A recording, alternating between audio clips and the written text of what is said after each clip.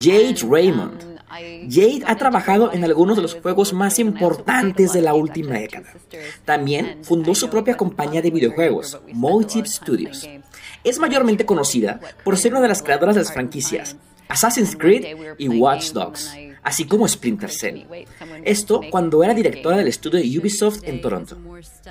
En principios de marzo del 2019, Raymond fue contratada por Google para ocupar el cargo de vicepresidenta y el 19 de marzo de 2019 confirmó que esta sería la líder de la nueva división de videojuegos de streaming de Google llamada Stadia Games.